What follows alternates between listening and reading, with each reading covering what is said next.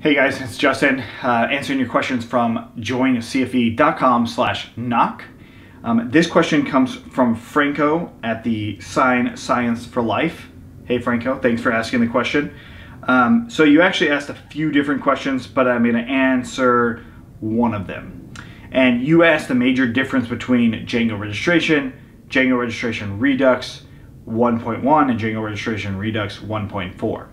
So when you're talking about different packages, so Django registration and Django registration Redux are two different Python packages, although they are the same Python packages.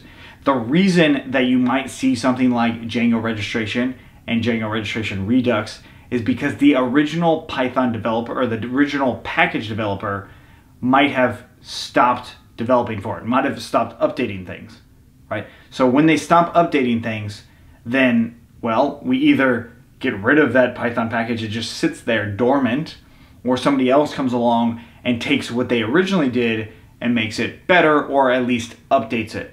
In this case, that's what's happened. Django registration is in the original version that was around, I want to say at least in version 1.4, in Django version 1.4, which we're up to Django version 1.10 now. Uh, but Django registration itself has been around for a long time. It made user registration really simple and easy. But then I think around Django 1.6, that original developer no longer supported the updates for Django, right? So that package got old, didn't work anymore, especially with the new versions of Django. So what another developer did was take that original code and update it and just called it Django Registration Redux. That's what I believe that happened. I'm not positive that specifically is what happened. Um, but instead of transferring the ownership on a GitHub repository or, or any form or fashion, there was just a new one that was brought out.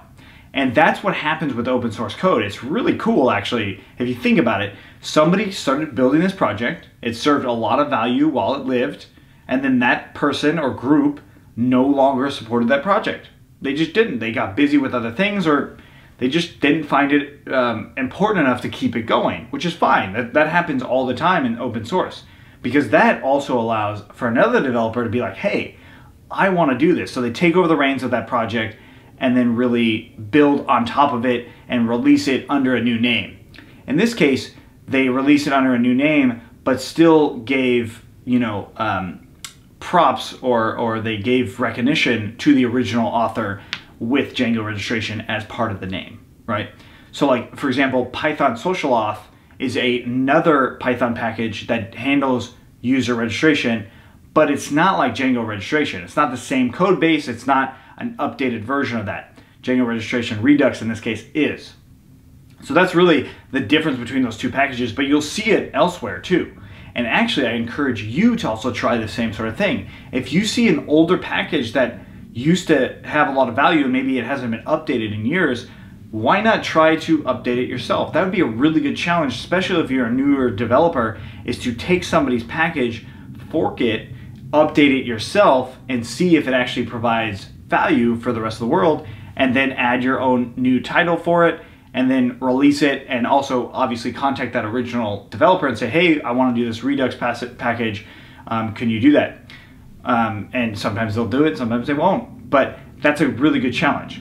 Now, the difference between the versions, so um, what you asked was version 1.1 and 1.4, that's actually really simple. That's just a new release. Um, so bugs happen, or a new version of Django comes out, or a new version of Python, and they have to change or update some things. Um, that's when they do, you know, 1.1, 1.2, 1.3, 1.4 um, or they want to introduce new functions or features or new security features. That's something that all Python packages do all the time. So if you see 1.1 or 2.6 or whatever, those are just new versions that have new things to them um, that are supported in that way. That's that's probably something that's fairly intuitive, but um, I just wanted to clarify because you did ask about it. Um, thanks so much for the question, Franco. Those other questions, um, I think we already answered them for you in another thread. Um, if you guys have those same sort of questions, please repost them and then upvote them. Uh, thanks for watching. See you in the next one.